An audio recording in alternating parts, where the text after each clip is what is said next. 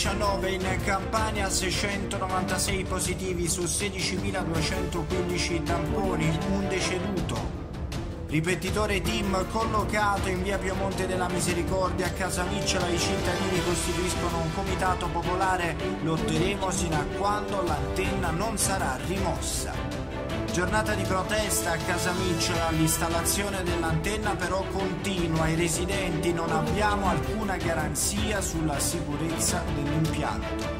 Truffe agli anziani, così Ischia è diventata terreno fertile per i delinquenti, prevenzione, assistenza sociale e repressione per debellare questo orrendo reato. Terminata la campagna di sensibilizzazione della Polizia di Stato, attenti alle truffe.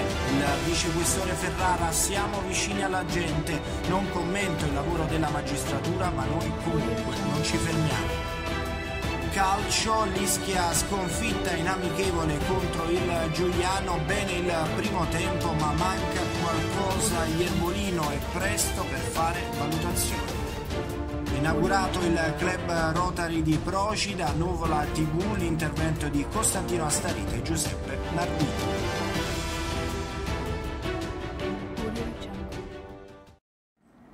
Buonasera e ben ritrovati con il telegiornale di Nuvola TV. Avete ascoltato i titoli di questa sera, un telegiornale oggi incentrato soprattutto su due grandi temi di giornata. Da una parte ciò che sta accadendo a Casa Micciola con l'antenna del team e le polemiche dei cittadini eh, residenti e poi l'altro tema quello delle truffe agli anziani che non si fermano nonostante eh, l'ultimo arresto dei carabinieri nonostante la campagna di sensibilizzazione della Polizia di Stato che proprio oggi eh, è terminata e eh, dunque c'è stata una conferenza stampa in cui si è fatto un importante punto della situazione. Parleremo ovviamente anche di altro, parleremo di sport con l'Ischia Calcio che quest'oggi seppur per una sfida non ufficiale è scesa per la prima volta in campo, la nuova Ischia di mister Angelo Iervolino e non mancheranno anche altri servizi. Iniziamo però sempre dal Covid con il bollettino diffuso dall'unità di crisi della regione Campania, questi dati sul contagio, ancora in aumento l'incidenza di nuovi casi rispetto ai tamponi analizzati, 696 su 16.215 tamponi in calo, i deceduti, un solo deceduto nelle ultime 48 ore, un deceduto poi si aggiunge eh, in precedenza ma eh, registrato soltanto ieri, un leggero aumento dei posti letto di terapia intensiva, una unità si passa da 20 a 21 posti occupati su 656, tornano invece ad aumentare i posti letto di degenza occupati, 361 sui 3160 disponibili. Nel frattempo domani sarà il giorno in cui tireremo le somme per la situazione Covid anche sull'isola di Ischia, per il momento eh, non sembrano esserci criticità, soprattutto all'ospedale Rizzoli. Si è un po' rallentato il ritmo dei ricoveri, ma avremo modo di approfondire questo tema nel corso del telegiornale di domani durante il quale eh, andremo a eh, rendere eh, pubblici e eh, appunto a fare la conta di quelli che sono tutti i numeri sul covid che riguardano ovviamente direttamente l'isola di Ischia. In apertura però parliamo di ciò che sta accadendo a Casamicciola dove continua a tenere banco ed alimentare polemiche l'improvvisa installazione di un ripetitore Salvatore Team in via Piemonte della Misericordia. Dopo il sequestro dell'area da parte del sindaco Castagna, reso vano dalla pronuncia del TAR Campania che ha abilitato di fatto la compagnia di telefonia mobile nel proseguire i lavori, ieri il responsabile dell'area tecnica del comune di Casamicciola, Mimo Baldino, ha comunicato alle parti interessate di aver disposto la sospensione fino alla, alla esecuzione dei saggi e degli accertamenti previsti nell'area di cantiere di qualsiasi attività edilizia o similare presso la zona interessata dall'installazione dell'antenna. Intanto i cittadini hanno costituito in queste ore un comitato di lotta affinché il ripetitore venga rimosso. Vediamo il servizio realizzato da Gennaro Savio in cui facciamo il punto della situazione. A Casamicciola continua a serpeggiare rabbia e preoccupazione tra i cittadini residenti in via Piemonte della Misericordia, che nei giorni scorsi all'improvviso si sono visti spuntare accanto alle proprie case un enorme ripetitore mobile della TIM. Si tratta di un ripetitore talmente alto che non solo supera le case, ma persino i palazzi che si trovano sulla collina del Paradisiello. Dopo il sequestro della struttura operato dal comune, nei giorni scorsi il TAR ha accolto il ricorso della potente compagnia di telefonia mobile, riabilitandola a procedere nell'installazione. Ma in queste ore, in zona lava, non è passata inosservata la continua presenza dei tecnici comunali un andirivieni che dimostra il tira e molla tra il comune che sembrerebbe deciso a percorrere ogni strada possibile per far rimuovere l'antenna e i responsabili della compagnia telefonica che forti della sentenza del TAR a loro favore vorrebbero procedere nell'installazione. Ma il colpo di scena dell'ultima ora è rappresentato da una disposizione del responsabile dell'area tecnica del comune di Casamicciola, dottor Mimmo Baldino, il quale ha comunicato alle parti interessate di aver disposto la sospensione fino all'esecuzione dei saggi e degli accertamenti previsti nell'area di cantiere di qualsiasi attività edilizia o similare presso la zona interessata dall'installazione dell'antenna. Intanto, nonostante i proclami del sindaco Giovan Battista Castagna, il sequestro effettuato dal comune reso vano dalla pronuncia del Tribunale amministrativo regionale, i cittadini, memori di esperienze passate che a Procida e in altri comuni dell'isola d'Ischia alla fine hanno sempre visto prevalere le ragioni dei colossi internazionali della telefonia mobile, sono sul piede di guerra e non sono disposti a fare un solo passo indietro rispetto all'unico obiettivo che si sono prefissati di raggiungere, e cioè quello di vedere rimosso il ripetitore da fuori ai balconi delle loro case, visto che già da sempre devono fare i conti con il rischio sismico e quello idrogeologico. E a tal proposito è stato costituito un comitato di lotta popolare che avrà il compito di organizzare iniziative tese a spingere l'amministrazione comunale a trovare quanto prima una soluzione politica affinché il ripetitore venga definitivamente rimosso. E quella della lotta di piazza rappresenta l'unica possibilità e speranza che la cittadinanza ha per far prevalere le proprie ragioni. E come detto da stamattina a Casamicciola, i residenti di via Piemonte della Misericordia stanno presidiando la eh, proprietà dove insiste l'installazione dell'antenna TIM, oggetto di polemiche, ci sono state eh, proteste, non sono mancati momenti di tensione nel corso eh, delle ultime ore. Abbiamo chiesto ai residenti quali sono le motivazioni della protesta e soprattutto quali risposte si aspettano e da chi. Ad oggi infatti il TAR ha dato ragione alla team come abbiamo spiegato prima. Sentiamo questa testimonianza sul web, poi pubblicheremo eh, anche altre voci raccolte a Casamicciola. Allora siamo a Casamicciola per un nuovo aggiornamento, continua la protesta, signora che cosa è successo?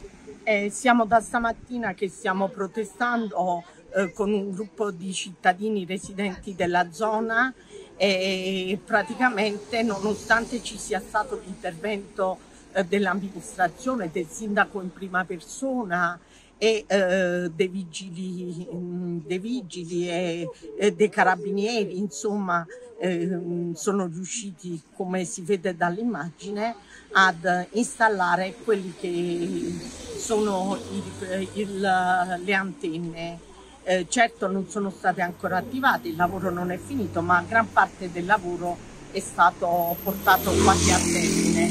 Non c'è stato, nonostante eh, la ricerca, la lettura delle carte, di tutto, non c'è stato nessun tipo di cavillo che sia stato possibile trovare per poterli fermare. Eh, la situazione è stata piuttosto forte, stamattina si sono sentite anche eh, parole piuttosto forti, pesanti, grida,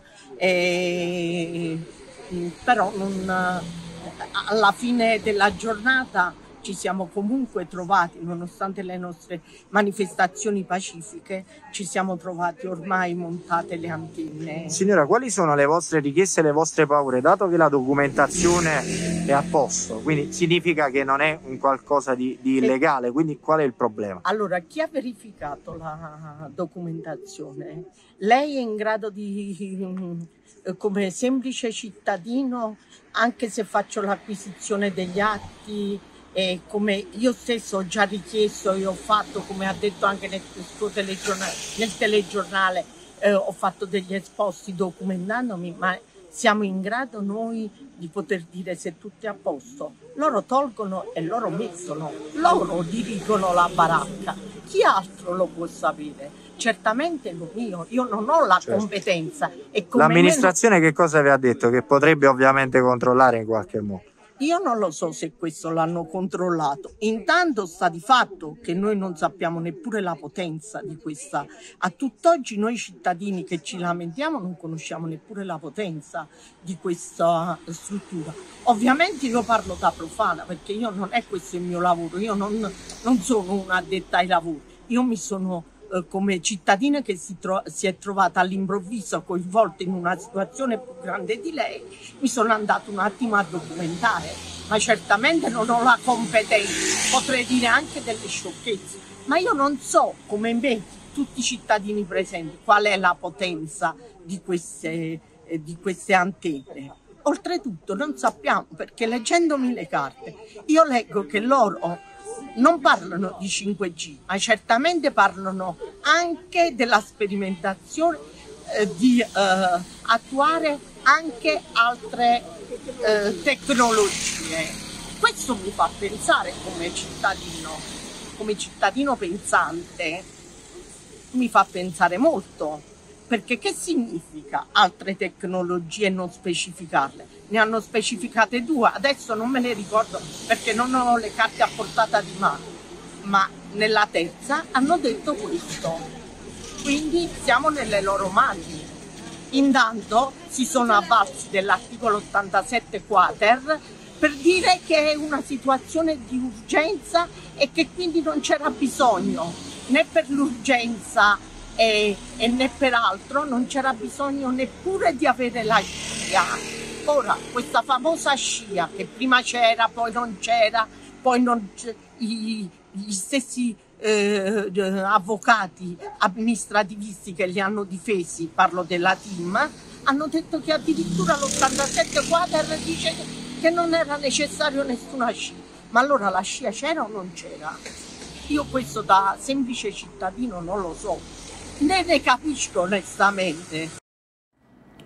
Cambiamo argomento, restiamo comunque nell'attualità, sono tantissime le truffe eseguite sull'isola d'Ischia a danno soprattutto di anziani, dal finto corriere al finto maresciallo ai nipoti in difficoltà, delinquenti della terraferma agiscono probabilmente con il supporto di una cellula ischitana che fornisce l'elenco e le informazioni delle potenziali vittime. L'importanza della prevenzione e dell'informazione ma anche eh, quella dell'assistenza sociale agli anziani e soprattutto un'attività imponente di repressione potrebbero debellare definitivamente questo orrendo reato, il servizio. Fanno ancora paura le truffe agli anziani sull'isola di Ischia. Negli ultimi mesi, e in particolare nel periodo estivo, si sono consumate diverse truffe a persone anziane seguendo diverse modalità di azione. Quella del corriere che deve essere pagato per la consegna di un pacco importante, quella del maresciallo dei carabinieri che chiede soldi per la scarcerazione di un proprio parente,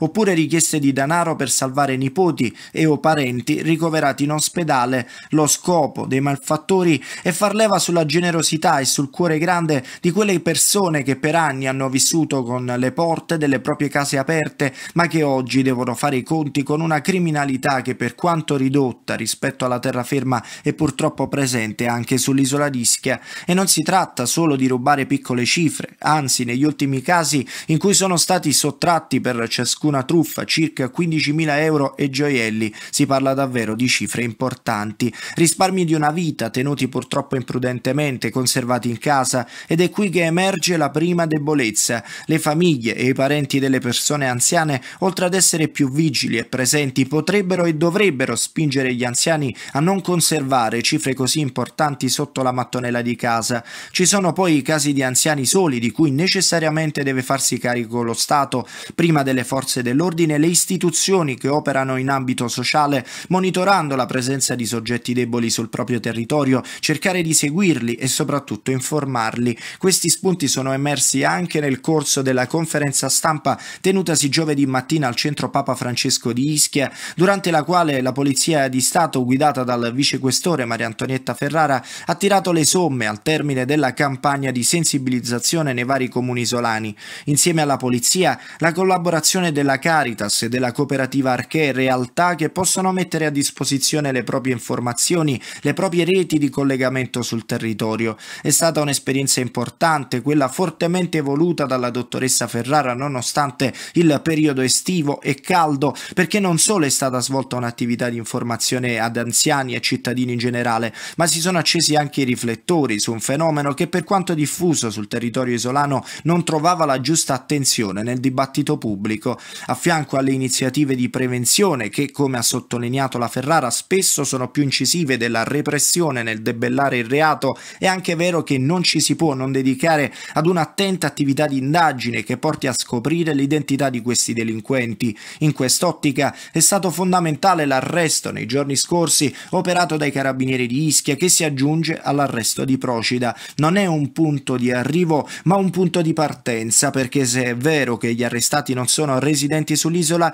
necessariamente ad Ischia c'è una cellula che ha il compito di individuare i soggetti più vulnerabili che magari hanno cifre importanti in casa e soprattutto un'organizzazione rigorosamente ischitana che deve reperire le informazioni necessarie per presentarsi in maniera credibile a cospetto della vittima. Prevenzione e repressione sono due cose che devono camminare insieme, parallelamente, perché di sicuro è necessario e per nulla scontato dover invitare gli anziani a non aprire la porta a persone non conosciute, a non dare mai soldi o gioielli, ad allertare il 112 e il 113 o allertare dal proprio telefono i parenti di quelle che sono le richieste di denaro, ma è anche vero che qualcuno deve andare necessariamente in carcere, tenere l'attenzione alta per poi magari contribuire a denunciare un tentativo di truffa che magari può aprire una pista per l'attività investigativa delle forze dell'ordine che senza il supporto dei servizi sociali rischiano di rincorrere il fenomeno, perché poi non è solo il danno economico, ma anche quello psichico che segue immediatamente dopo. E il caso di anziani truffati che non vogliono più uscire di casa per paura e vergogna ne è purtroppo una triste prova. Oggi possiamo dire che Ischia è vigile su questi fenomeni nella speranza che le luci non si spengano più e che invece si arrivi a distruggere i responsabili per i quali però la legge concede molti sconti, ma questa è un'altra storia. Stamattina al centro Papa Francesco si è tenuta la conferenza stampa a conclusione della campagna di sensibilizzazione attenti alle truffe organizzata dalla Polizia di Stato, in particolare dal vicequestore Maria Antonietta Ferrara, la quale ha tracciato un bilancio di questo vero e proprio tour nelle piazze isolane. Alla Ferrara abbiamo poi chiesto un commento su quella che è la mancanza di pene severe per chi commette questi reati. Non commentiamo il lavoro della magistratura e la legge è legge, questo per però non significa che dobbiamo fermarci, ha dichiarato la dottoressa. Ascoltiamo. Tutto lo devo dire io a voi e non voi a me, perché il nostro motto, esserci sempre tra la gente, è il motto che ci tiene uniti, che ci dà la forza. Noi abbiamo fatto prevenzione, è la prevenzione più importante della repressione, perché sicuramente con la prevenzione abbiamo debellato quello che è il fenomeno di questo reato fa male agli anziani perché colpisce la fascia debole, loro sono indifesi e noi abbiamo cercato di prevenirlo questo reato. Ce l'abbiamo messa tutta, siamo stati tra la gente, non ci siamo messi su di un piedistallo, abbiamo stretto le mani, abbiamo parlato con loro, abbiamo spiegato nei minimi particolari che cosa potesse essere questo reato, non aprire la porta, non fare bonifici, Addirittura le ultime giornate ci hanno fatto capire che ci sono tanti raggiri che queste persone fanno e a volte anche questi anziani hanno dato qualcosa in più a noi, quel quid pluris magari che ci mancava, ce l'hanno insegnato, perché il modus operandi non è sempre uguale, è diverso da zona a zona, quindi ci hanno spiegato che per esempio anche chi aggiusta uh, l'interruttore voleva truffare, uh, la caldaia si era rotta ed era un truffatore, quindi anche loro ci hanno insegnato delle piccole chicche per poter uh, debellare questo reato. Eh, la vicinanza tra la gente è il nostro motto e l'esserci sempre è stata una sensazione bellissima, il poter stringerci uh, nelle piazze, incontrare i sindaci, incontrare la gente. Uh, si sono sentiti protetti, sono state fatte anche delle operazioni anche da altre forze dell'ordine, ma è importante perché la prevenzione a volte supera la repressione. Noi siamo contenti, io sono contenta e sono felice questa iniziativa nata da un'idea perché un continuo susseguirsi di denunce nel nostro ufficio di truffa agli anziani fece scattare un giorno una molla, diceva devono essere aiutati, noi siamo tra la gente, viviamo per la gente e quindi noi ci dobbiamo sacrificare. Non è stato semplice organizzare le piazze, incontrare i sindaci, incontrare le persone, ma l'abbiamo fatto con tutto il cuore perché la polizia è il cuore di tutti i cittadini. Dottoressa, rispetto anche all'ultima operazione che c'è stata, un arresto delle altre forze dell'ordine, poi è emerso che nel concreto, insomma, per quello che prevede la legge, queste persone poi sono ritornate a casa. Quanto per certi versi, insomma, è anche eh, scoraggiante per voi sforzarvi di riuscire a trovare queste persone che poi magari possono tornare in libertà e ritornare a fare quello che facevano prima? Non giudico l'operanza della magistratura e una legge sono in libertà, ma la vicinanza è importante, lo sforzo che eh, i colleghi hanno fatto è uno sforzo notevole eh, che mette in evidenza che eh, noi siamo sul territorio, siamo sul pezzo, quindi noi ci siamo tra la gente e la magistratura che libera subito dopo, ma questa è legge certo. e la polizia, i carabinieri o la finanza non possono cambiare, ma siamo contenti lo stesso perché è un segnale molto forte. Passiamo allo sport, il calcio, prima uscita non ufficiale per l'Ischia di mister Iervolino, oggi al Mazzella si è tenuto l'allenamento congiunto con il Giuliano Compagine che parteciperà al campionato di Serie D. 2-0 il risultato finale in favore degli ospiti, messi in difficoltà dall'Ischia nei primi 45 minuti, terminati sullo 0-0 nel secondo tempo però, un po' per gli ingressi in campo importanti tra le fila napoletane, un po' per demeriti dell'Ischia, non si è vista una bella prova al termine del match ai nostri microfoni. Mister Iervolino ha commentato la gara dicendosi soddisfatto della prestazione dei suoi ragazzi e che comunque è passato troppo poco tempo dall'inizio degli allenamenti per fare una valutazione completa. L'intervista. Per 60 minuti abbiamo fatto una bellissima partita contro una squadra importante importante, una squadra che lotta per, diciamo, per, per il titolo nel suo girone e, e quindi c'è da, da, dare ovviamente dei meriti a questi ragazzi. C'è da, secondo me, da, da fare delle, delle differenze no? Su delle, sulle sconfitte. Ci sono sconfitte che ti lasciano l'amaro in bocca, sconfitte che, ti, che ti, magari ti illudono e invece sconfitte che ti lasciano delle note positive. Queste sono di quelle là dove ti lasciano delle note positive. Nel secondo tempo ovviamente si è vista una partita diversa, non c'è stata partita eh, perché loro hanno cambiato, hanno messo, insomma hanno alzato il livello o anche per i cambi comunque che hai fatto tu hai cambiato tanto?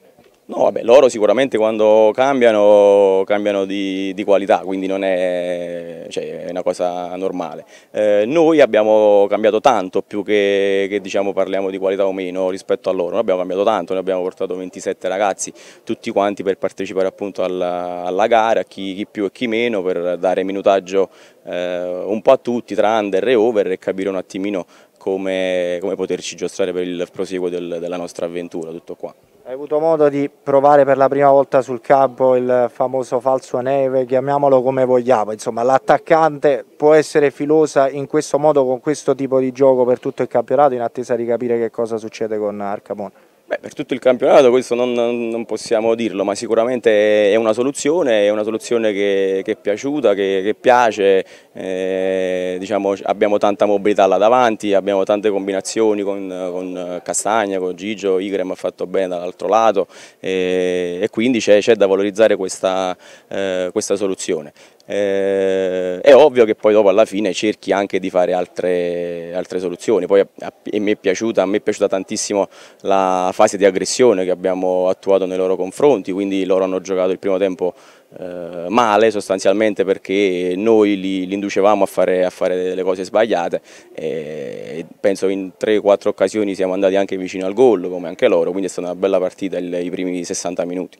Ma loro, loro, volevano quello, loro volevano giocare, volevano divertirsi, volevano essere al centro del, del progetto, è un qualcosa che a me piace, è un qualcosa che secondo me l'allenatore deve, deve, lasciare ai giocatori, a prescindere dal, dai, dai, risultati sportivi, i giocatori e la società hanno bisogno di, di qualcosa che possa restare loro nel, nel, tempo. E credo che sia, siamo, siamo, sulla strada giusta, è ovvio, tre settimane non, non possiamo assolutamente tracciare nulla secondo me, è pressoché prestissimo voglio dire, o forse ancora niente da, da dire, però è la strada secondo me da, da percorrere appunto per lasciare qualcosa sia a loro che alla società stessa.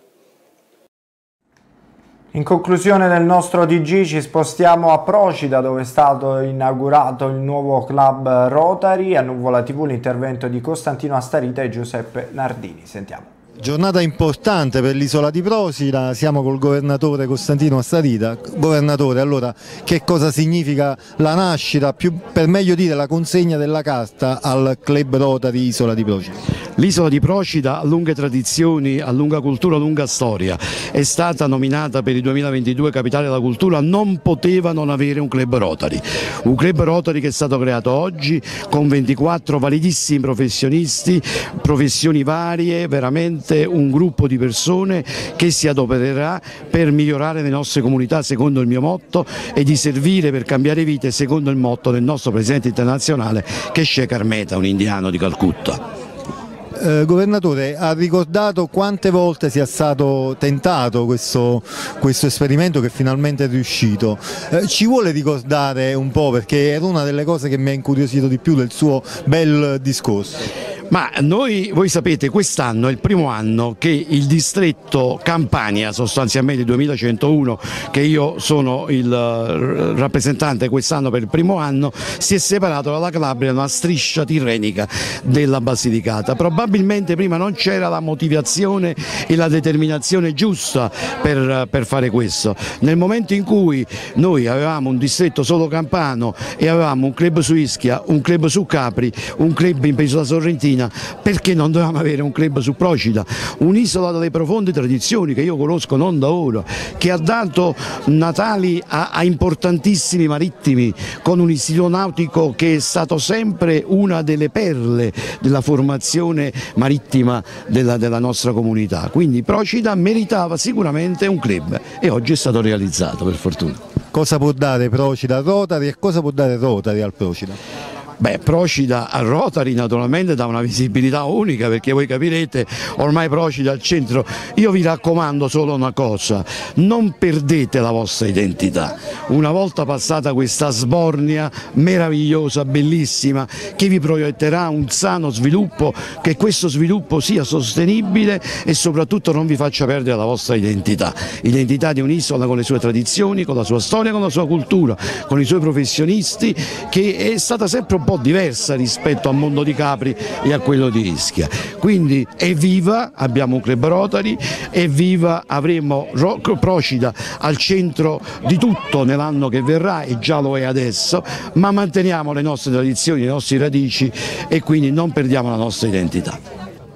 Presidente del Rotary del neocostituito club Rotary di Procida, Giuseppe Nardini, eccolo lì, il gagliardetto Flavio, inquadracelo perché siamo tutti curiosi e fieri di, eh, di questa iniziativa e ce ne la racconta il suo Presidente.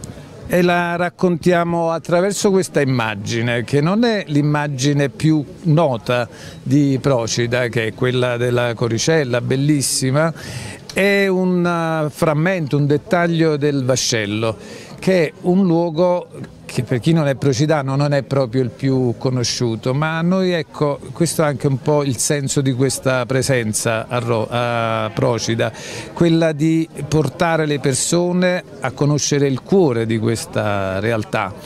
E i colori non sono i colori del piano colori delle facciate di Procida, ma sono i colori del Rotary. E niente, proprio per eh, rappresentare la nostra presenza, presenza di persone che vogliono essere attive per la comunità. Eh, che tipo di apporto state preparando, soprattutto in virtù di questa grande occasione che Procida Capitale della Cultura? Il, il governatore ci parlava già di alcune iniziative in cantiere.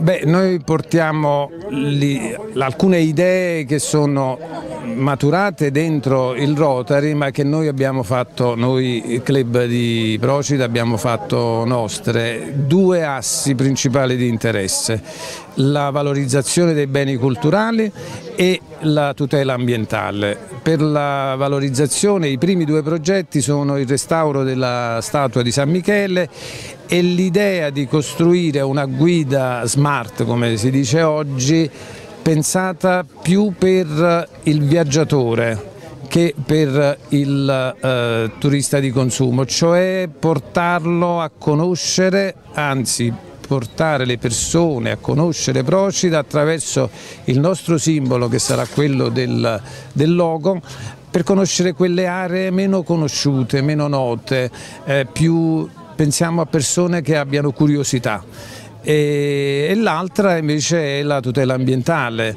il progetto Mare senza plastica eh, che vedrà Procida proprio come il fulcro di tutta l'azione del distretto, il distretto è nostra, il nostro raggruppamento che prende tutta la campagna. Presidente, mi, ci salutiamo con una battuta, che cosa augura il club e che tipo di, appunto, di, di auspicio eh, può esprimere nei confronti di questa iniziativa che ha già tanto successo nel mondo?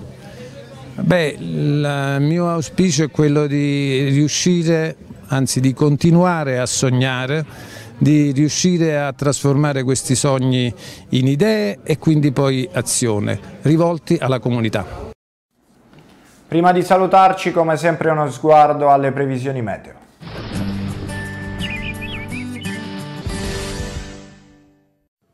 Bentrovati da Nico Schiodetto. Eh, previsione per la giornata di venerdì. Intanto a livello europeo possiamo osservare un anticiclone che terrà nei prossimi giorni i suoi massimi molto a nord sulle isole britanniche fin verso il nord Atlantico, mentre una circolazione di bassa pressione è posizionata sull'Europa centro-orientale con clima fresco qui per il periodo. Andiamo a vedere gli sviluppi di fatti sull'Italia perché sarà una giornata ancora instabile durante la mattinata sul nord-est con le ultime piogge sul Veneto, Basso Friuli Venezia Giulia, poi migliora rapidamente, ma soprattutto i temporali che si formeranno sull'Emilia Romagna e osservate durante il pomeriggio anche regioni centrali tra Toscana, Umbria, aree interne di Lazio e Marche. Sulle Marche rovesci anche intensi. Alla sud invece una giornata più tranquilla con quindi eh, sole protagonista ma temperature diffusamente sotto i 30-32 gradi.